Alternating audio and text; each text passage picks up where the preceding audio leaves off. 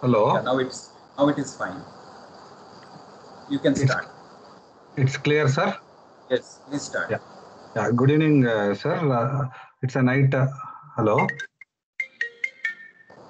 Yes, please start. Yeah. Good evening. Uh, good evening, everyone. Uh, it was a nice initiative by our my teacher, uh, Professor Sharma, in uh, introducing the drugs which we use in day-to-day practice in neurology, so that all of are aware.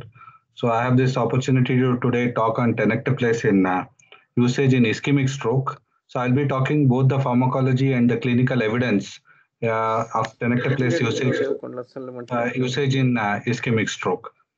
So, in the next uh,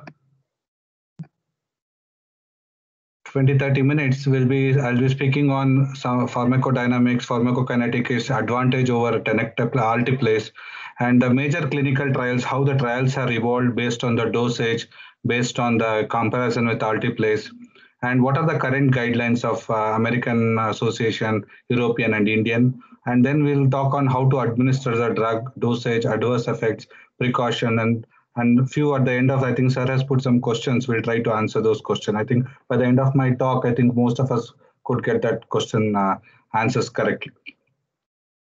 As we all know, tenecteplase is a tissue plasminogen activator. It is one of the uh, like alteplase. It activates the plasminogen to in causing fibrinolysis, and it's an enzyme uh, produced by recombinant DNA technology from uh, established from a mammalian cell line, basically Chinese hamster, and it is used as a thrombolytic agent. So we have the few generation of uh, thrombolytic agents. First generation, all of you know, uh, urokinase and streptokinase. Second generation is uh, uh, alteplase, and the third generation we have so many tenecteplase, reteplase, monteplase. All these are being used by cardiologists in uh, thrombolysis of uh, MI. So for neurology, it all started with alteplase way, way back in uh, NINDS trial in 1994. Subsequently, tenecteplase uh, was found to be very efficient in uh, MI management. So they thought it can work in neurology also in the stroke uh, thrombolysis. So that is the concept. So that we will come to that how the dose was evolved and all. So tenecteplase is a recombinant uh, uh, obtained from recombinant technology. It's uh, basically they have tweeted the alteplase in a different uh, manner, which I'll come to that. This is the structure. So there are some mutations they have changed uh, in a at threonine at 103 is put on aspergine and then and is substituted at uh, the threonine at 103 substituted with aspergine that is called as a T mutation. Aspergine at 117 is substituted by glanduin and it is uh, and that is called N mutation. And then sequence of lysine, histine, arginine is made as alanine, alanine, alanine. This is K mutation. By doing these three mutations, it helps in uh, fibrin specificity and then uh, pro prolongation of the T half-life. So that is the main advantage. And another thing is, and by doing these mutations, there is increase in the resistance to plasminogen activator. So this by helps in prolonging the uh, duration of action of the tenecteplase. And it also enhances its fibrin specificity by mutation, K mutation. See, as we all know, the, when whenever there is an exposed blood vessel or a whenever whenever uh, Virchow triad is abnormal, there is a fibrinogen will be converted into fibrin mono polymer and there is a formation of a fibrin clot. This could be rich in the fibrin as well as platelet clots and is usually activated by prothrombin to thrombin from the factor 10A activators. So what will happen whenever there is a clot formation, there is also activation of the intrinsic uh, uh, thrombolytic system, but that can be ag augmented by giving a tissue plasminogen activator, which actually converts plasminogen to plasmin, and plasmin actually degrades the fibrin into fibrin degradation product. But basically, there are two other checkpoints in the system where plasminogen activator inhibitor, which inhibits conversion from TPA to uh, plasminogen to plasmin by inhibiting TPA. And also there is an alpha 2 antiplasmin which which which will uh, bind to the plasmin so that uh, the fibrin is not degraded. These are the checkpoints uh, by our system so that there could fibrinolysis should not happen when really a clot formation has to happen. So whenever we give TPA, so if this plasminogen inhibitor and alpha plantin are working very well, then you cannot be able to degrade this fibrin. So if you look at this, TPA has got action against plasminogen activator inhibitor as well as an alpha 2 antiplasmin. So what are the pharmacodynamics? Tenecteplase binds to fibrin and converts plasminogen into plasmin. So this happens in the presence of fibrin. In vitro studies have demonstrated that tenecteplase conversion of plasminogen to plasmin is increased relative to its conversion in absence of fibrin. So that, uh, that is why it is more fibrin specific. This decreases the systemic activation of the uh, plasminogen and resulting degradation of circulating fibrinogen as compared to the molecule lacking this property. So this is called fibrin specific. So if you are given streptokinase, it activates uh, plasminogen all over the body and there is a high risk of bleeding.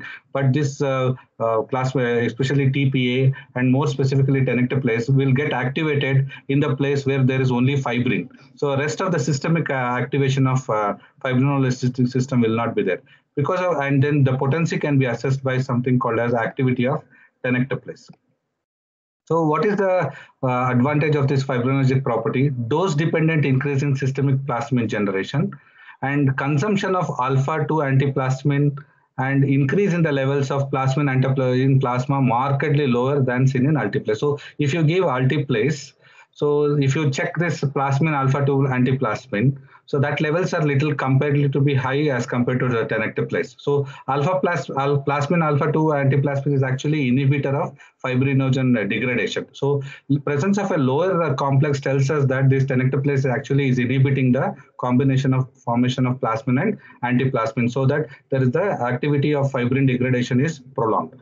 And if you look at the systemic uh, levels of plasminogen and fibrinogen levels, they are not markedly decreased up to only 15% and 10%. So this is an advantage of uh, uh, this is what it is seen, minor reductions only in the circulating level. Whereas if you give streptokinase, there will be marked degradation of plasminogen and fibrinogen. Sometimes if uh, plasminogen degradation is uh, levels are very more, then it can act as a procoagulant effect.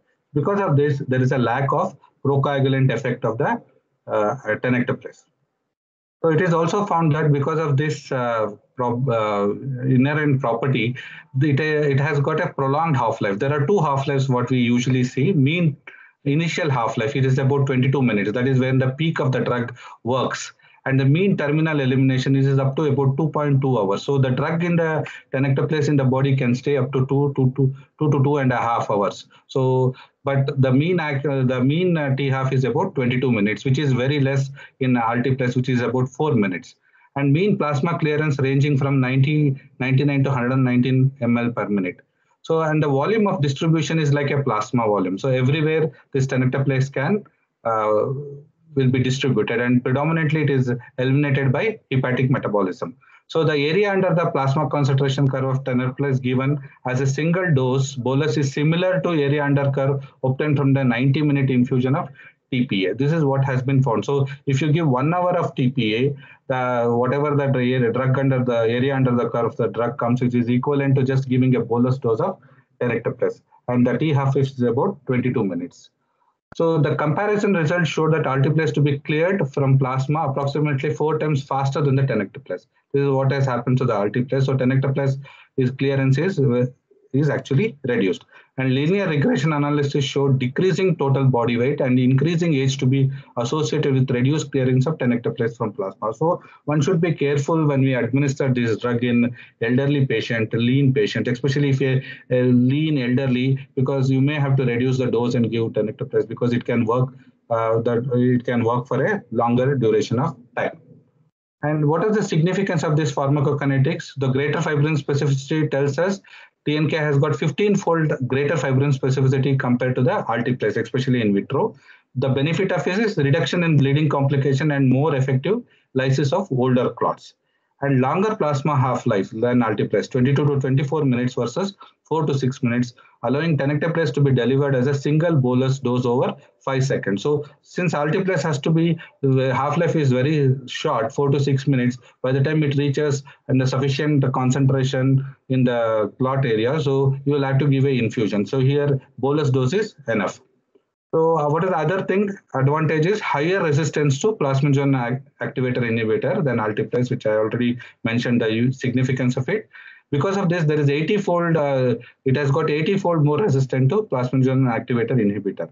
And uh, what is plasminogen activator inhibitor is a natural inhibitor to fibrinolysis and higher resistance may improve the outcome of thrombolysis. It is also help in dissolving the platelet-rich clots. So this is what is most important. Sometimes we know white thrombus, red thrombus. So tenecteplase uh, works more on both thrombus, white as well as red thrombus. So comparing the tenecteplase and alteplase, fibrin specificity, tenecteplase is three times more this one thrombo thrombolytic potency also is more.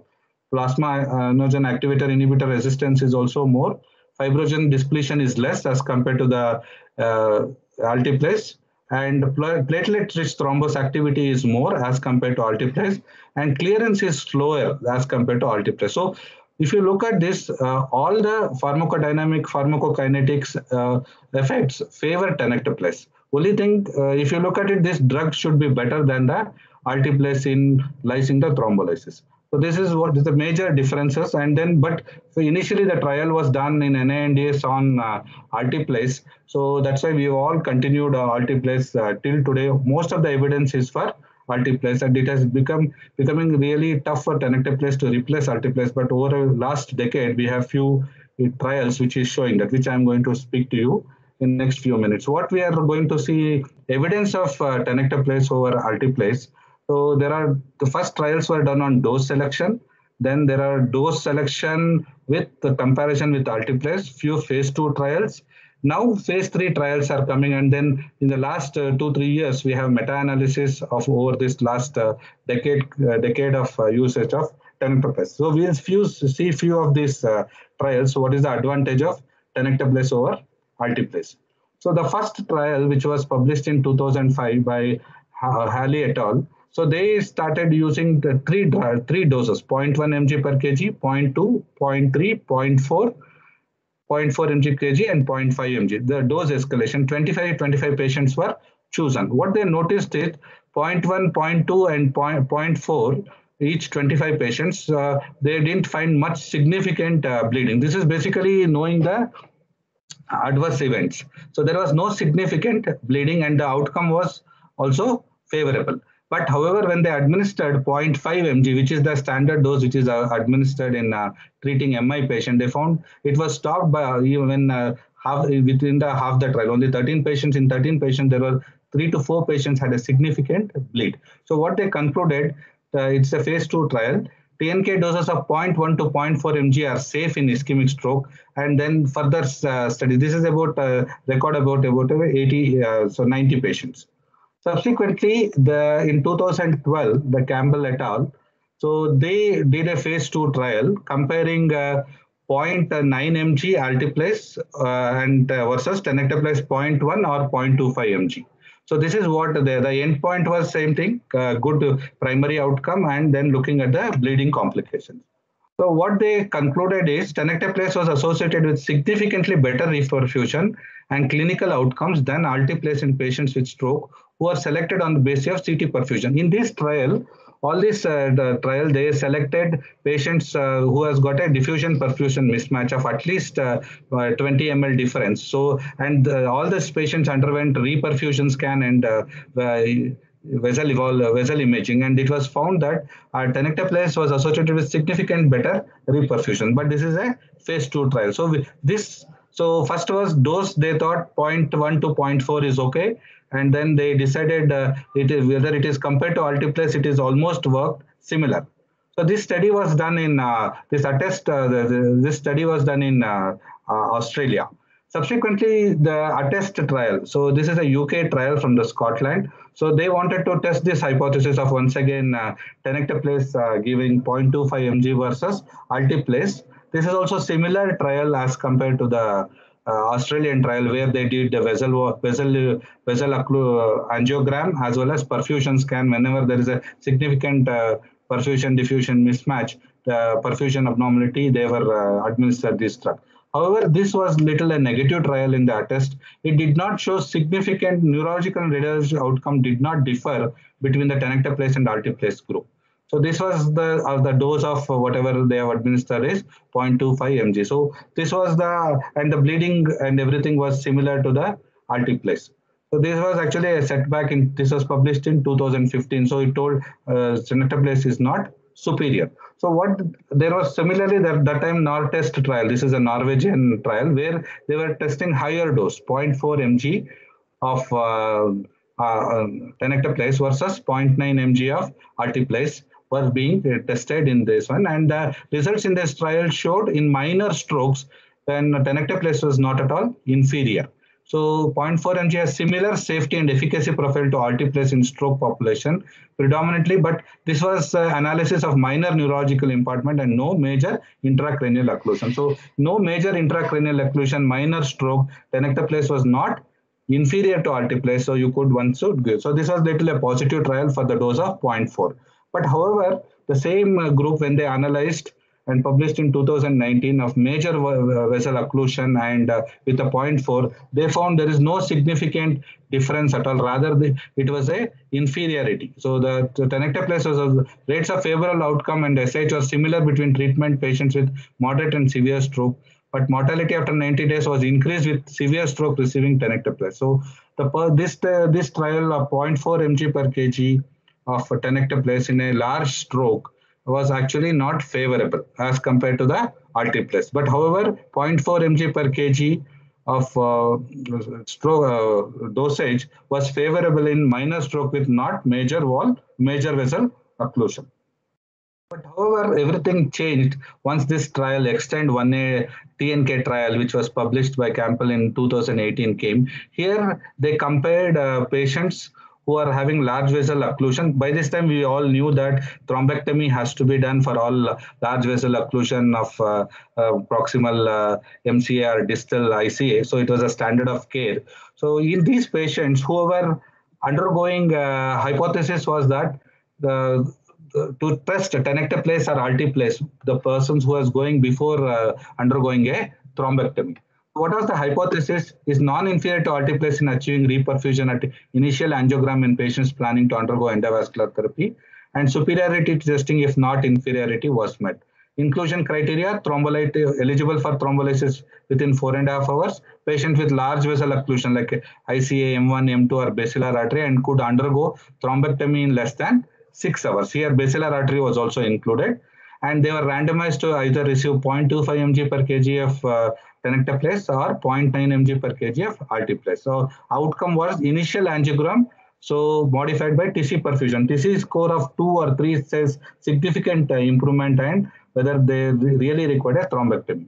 So what it was shown in a primary endpoint, the people who received tenecteplase, nearly in 22%, or rather out of 101, 22 had a good reperfusion and no thrombectomy was required as compared to the 10, uh, 10 people who actually required who are on alteplase. And if you look at it, Rankin score of 0, 1, 2 was significant in the patients who received tenecteplase and thrombectomy as compared to the alteplase and thrombectomy.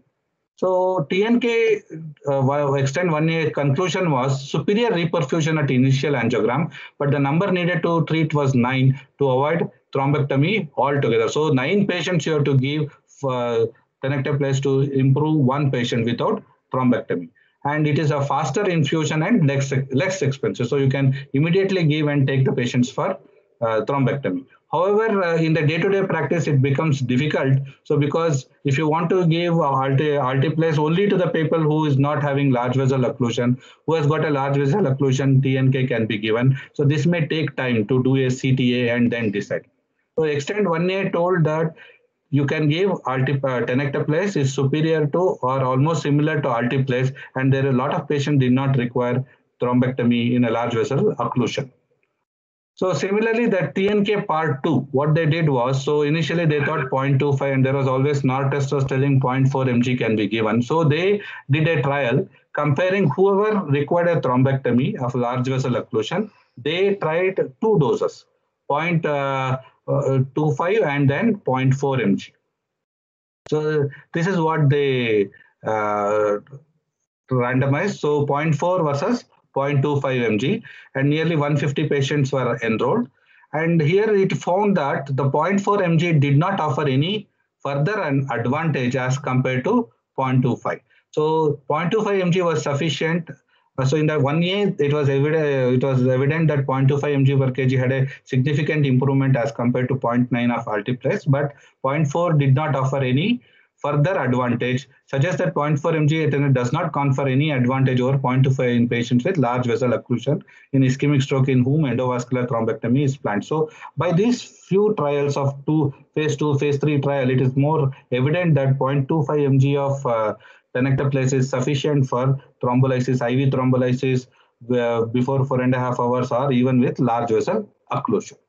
So this is another recent trial which is published in uh, 2020. This is the same uh, treated which started the TOAST uh, classification, Oregon stroke. So there they gave 0.25 mg, TNK was used and safety outcomes assessed by symptomatic ICH on CT at 24 hours for uh, LVO patients with large vessels. They found that TNK had a significant uh, uh, improvement compared to the alteplase. So the conclusion of the study should be as an alternative alteplase, especially at site that needs to transfer patients for thrombectomy. So drip and ship, in that case, you can give a patient who can give a bolus dose and then transfer the patients for uh, thrombectomy. So as a first choice, give and go in a thrombolysis treatment. So uh, editorial in uh, Neurology 2021, it says that uh, there is a future that the very short half-life of IV alteplase likely contribute to low efficacy, limiting the lytic effect on occlusive thrombus in proximal large vessel occlusion. Meta-analysis from various RCT, which I'm going to come now, show tells us that greater chance of achieving complete reperfusion and angiogram, early neurological improvement, and great functional independence of 0 to 2, and no increased risk of symptomatic or any intracranial hemorrhage or mortality. So coming to the next, these are the phase uh, trials. Then subsequently, all these trials, there is a lot of meta-analysis. Same trials have been analyzed. So this one of the meta-analysis from the Indian group. You can see Dr. Kameshwar Prasad is there. So they uh, they published in 2018. So they found they analyzed up to the TNK1 studies they analyzed and found that tenecteplase to be significantly favoring one outcome, that is early major neurological improvement. What do you mean by early major neurological means? The significant reduction in the NIHS score within first 24 hours. So, but other outcomes like uh, symptomatic hemorrhage and uh, uh, improvement at the end of three months is almost similar to alteplase, but more trial is required. Subsequently, there are five in 2019 another uh, meta-analysis of five randomized trials. If you look, I think we discussed this. This is the first TNK trial, Australian TNK, ATTEST, NORTEST, extended. So accumulated data provides strong evidence that TNK is non-inferior to alteplase in the treatment of acute ischemic stroke. So this was published in Stroke 2019. So telling the clinicians that definitely tenecteplase is not inferior to the alteplase. So subsequently, in the same TNK1 trial, they had uh, also had a basilar artery occlusion. So when they analyzed sub analyzed their uh, data, uh, subgroup analysis, it was found that persons who had received tenecteplase had with basilar artery occlusion, 26% they had better uh, perfusion as compared to the 7% of the patients who had basilar artery occlusion. So it is even showing not only in the uh, anterior circulation, even in posterior circulation, uh, the tenecteplase is beneficial. This is the subgroup analysis of the extended uh, one-year trial. So this is a recent uh, meta-analysis which was published uh, last two months back. So they have analyzed all the trials um, which has been uh, published uh, on the alteplase, uh, sorry, tenecteplase uh, compared with the alteplase. And there are three outcomes they have checked. You can see the forest graph here. Successful recanalization, modified Rankin score of 0 to 2 at 3 months, and functional improvement at 3 months between patients with acute large occlusion. And so if you see all the forest graph, we favors uh, TNK. So in all the three uh, endpoints, successful recanalization, modified Rankin score, and the functional improvement. So all this uh, meta-analysis tells us that, that it is favoring the tenecteplase. So these are all the data what we got from the Western world. So before uh, in our country also there was a, a tenecteplase uh, trial was done. I think many of the centers, Bangalore also Ramaiah was involved, AIIMS, PGI, uh, Sri, uh, Sri Chitra, most of the institutes from south to north, east, west, everything, everyone was involved. They tested the generic available dose. That is what we have getting tenectase in our country. They tested the dose of 0.1 and 0.2 here. It is not 0.25 or 0.4. That is what has been uh, biosimilar tenecteplase, which was analyzed here and which had a clot lysis of 72 to 78% standard clot lysis as compared to the innovator uh, uh, tenecteplase, 97 to 100%. So this trial, which was published in uh, 2018, showed that TNK TPA 0.2 mg per kg administered within three hours of symptom onset seems to be a well tolerated and effective option in patient with acute ischemic stroke. So 0.2 mg had a good outcome, basically in early uh, uh, early improvement as well as less bleeding complication and uh, as compared to the alteplase, they had a almost same similar outcome at the end of three months. So based on this, DGCI in 2019 gave approval for Indian for Indian in India for uh, for IV thrombolysis for adult patients arriving within four and a half hours. So this is what is the, our government guidelines have given. Zero to three hours, you can either give IV tenecteplase or IV RTPA. Three and a half to four and a half hours, IT, IV RTPA is only. So beyond three hours, uh, it is not approved in our country yet because the trial, what we have, what the company uh, uh published or gave the data is only up to the three hours. So this is what has been, uh, this is the standard uh, uh, indication when we thrombolyze a patient. So as on today in India, dose is 0.2 and it is between 0 to 3 hours. Uh, one can administer either IV TPA or IV RTP. So this is the guidelines which has been told, but here the dose that is uh, included is uh, 20 mg, not the 0.2 mg uh, per kg. So it is available, uh, maximum dose one can give is uh, 20 mg, one can give for a 100 kg patient. So the dose administered is 0.2 mg per kg. So based on all the trials, so 2000 uh, we have American Heart Association guidelines. It tells us, which was modified in uh, 2019. So it may be reasonable to choose tenecteplase IV bolus of 0.25 mg per kg, maximum 10 over IV alteplase in patients without contraindications for IV fibrinolysis who are eligible to undergo mechanical thrombectomy. So AHA tells if you are taking a patient for mechanical thrombectomy, if you are planning a IV thrombolysis, one can administer tenecteplase 0.25 mg per kg and level of evidence is 2B. But tenecteplase administered as a 0.4 mg per kg single IV bolus has not been proven to superior or non-inferior to alteplase, but might be considered as an alternative to alteplase in patients with minor neurological impairment. This is based on the NORTEST uh, trial. It has told in minor stroke, minor neurological impairment, and no major intracranial occlusion, one can administer 0.4.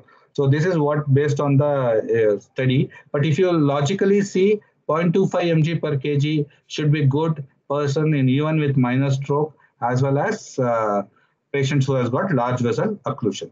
So recently ESO guidelines was published. This is published uh, last month, 2021. So the specific question was the same thing. In acute ischemic stroke of less than four and a half hours duration, does IVT with tenecteplase lead to better functional outcome than IV with IVT with alteplase?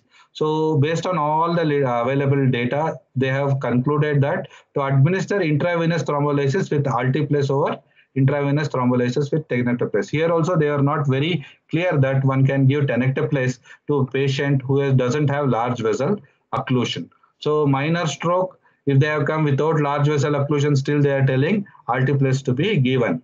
So quality of evidence is low, strength of recommendation is weak. However, in a question, if the patient has come with a large vessel occlusion and you are planning to do mechanical thrombectomy, they are telling to give tenecteplase 0.25 mg per kg as compared to alteplase. So the quality of evidence is low, but strength of recommendation is also weak. So this is the problem. Compare, looking at the studies, logic does not happen. So in a large vessel occlusion, they are telling to give tenecteplase. When you have a minor stroke, they are telling to give uh, That is what the study has shown. That is the skew of the various studies.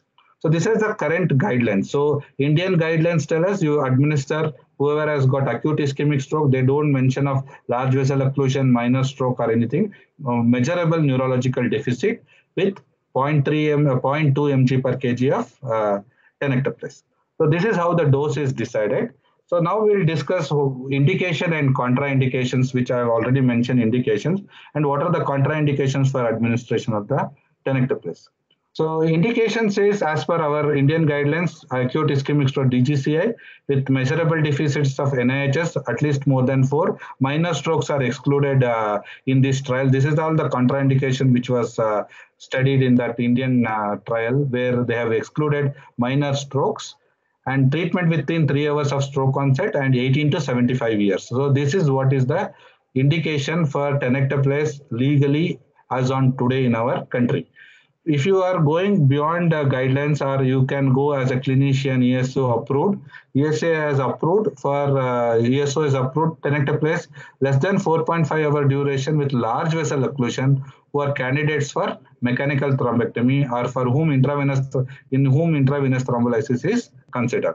And this is the standard uh, contraindication any intracranial hemorrhage, clinical with subarachnoid hemorrhage, pregnancy, low platelets, INR more, patients who have received heparin, major surgery, GI. This is a general contraindication what we do in day-to-day -day practice for uh, thrombolysis, seizures at stroke onset. Now coming to how this drug is available for us in our country. So it is available as Tenectase. It is comes in a vial which contain which is about contains 20 mg and it comes as in a box which has got the vial as well as a 10 ml sterile injection and a 10 ml syringe. So it's supplied as a sterile lyophilized uh, in 20 mg vial. Each disc contains uh, L-arginine phosphoric acid and polysorbate, which includes at 20% over uh, overfill. So nearly 21 mg is there. Roughly, one should when you dilute it, you should get about 20 mg of tenecteplase. So stability store should be uh, lyophilized since it is lyophilized in at controlled room temperature and should not exceed 30 degrees uh, centigrade under refrigeration between 2 to 8 and do not use beyond the expiry date as the standard for all the medications. So how do we administer this drug?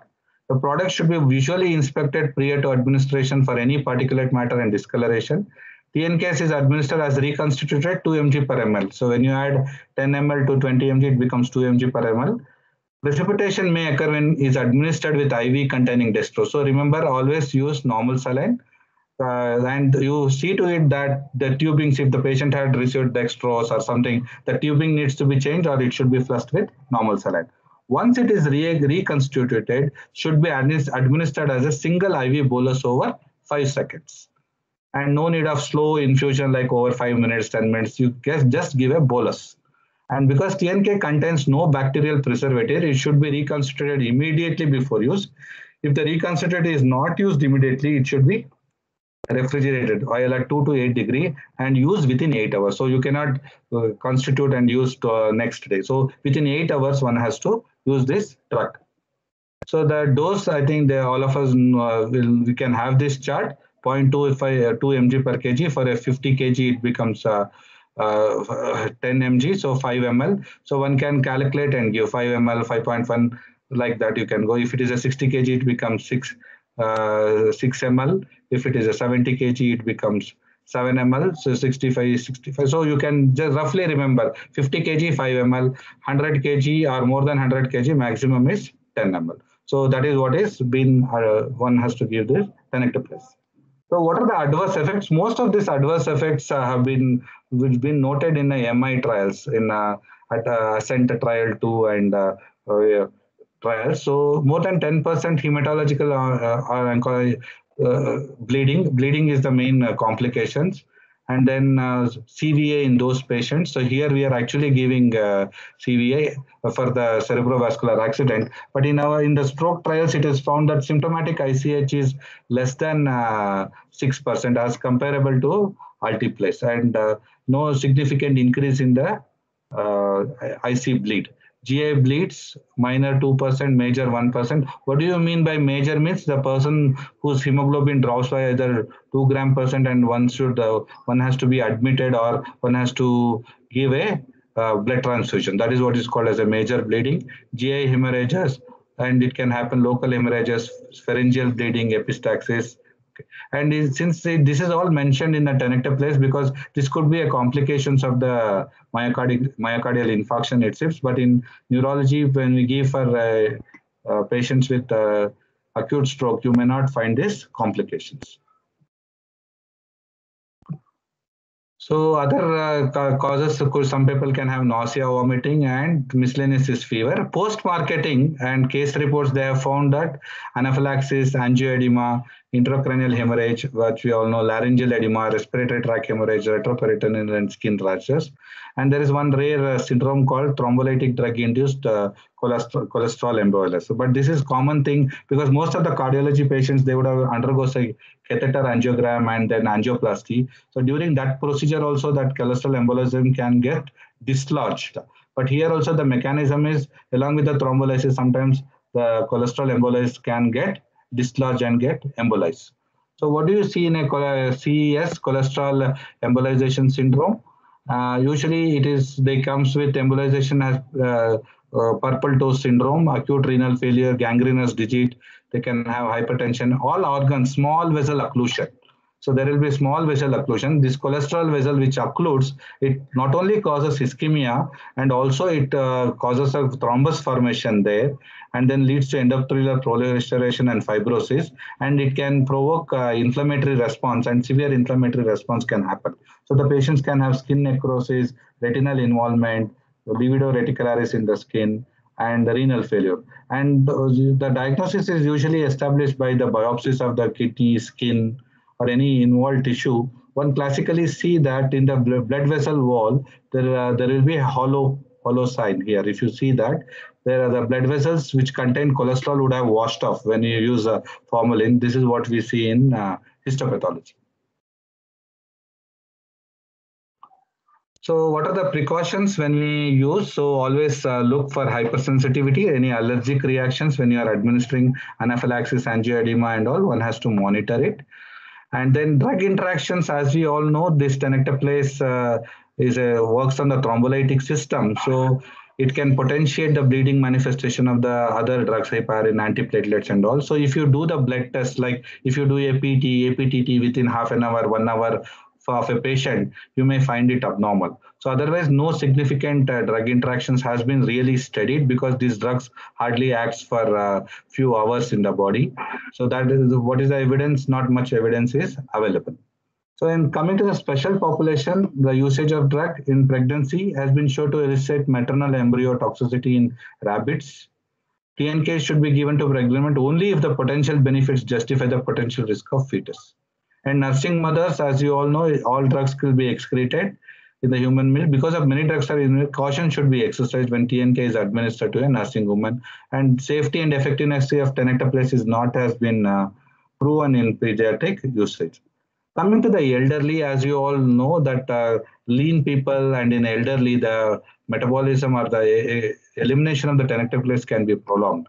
So especially in the elderly, one should be very careful in administrating. So in the trials also, they have used 18 to 75 years of age. So if you get a 80 years of patient, so I think clinically it is evident to give alteplase more than the, better than the tenecteplase. So the risk and benefit should be weighed carefully in the elderly because they have a high risk of bleeding tendency.